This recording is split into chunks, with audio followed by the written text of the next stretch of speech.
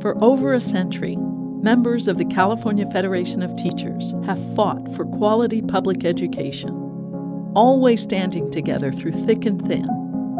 Ours is a history of grassroots activism and of visionary leaders who stepped out of their classrooms and work sites to fight for better working conditions and for our students, our schools, and our communities. The power and promise of public education inspired us to become educators, school workers, and also advocates and leaders. We have worked hard to obtain dignity and respect, full funding for our schools and colleges, and for social, racial, and economic justice.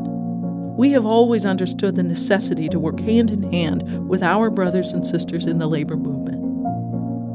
Today, as we face great challenges and the future of public education is in flux, we can look back on our history with pride.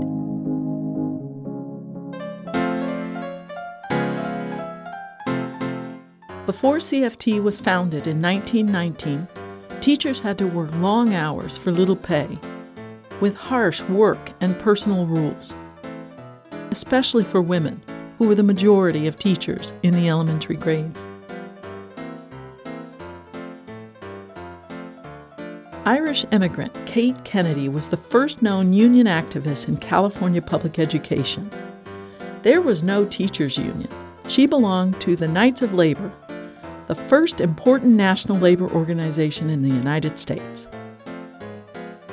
In 1874, she led the fight to pass a state law guaranteeing educators equal pay for equal work. But to get around the law, school administrators kept elementary school wages lower for the mostly female teachers and higher for the mostly male teachers of secondary schools.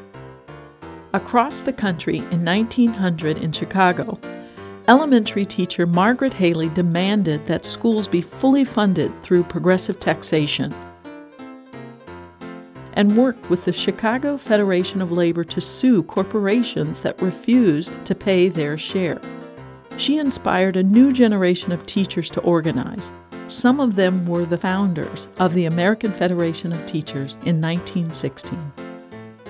Three years later, eight local unions in California founded the California State Federation of Teachers to work for collective bargaining.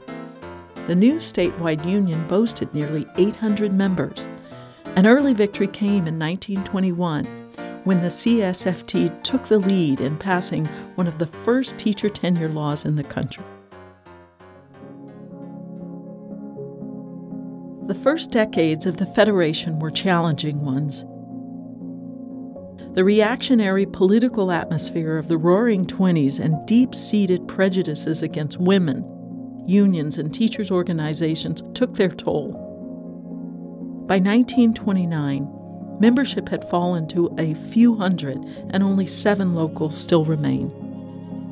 While industrial workers were able to organize successfully for the first time during the Depression, teachers were hit hard, facing layoffs and school closings.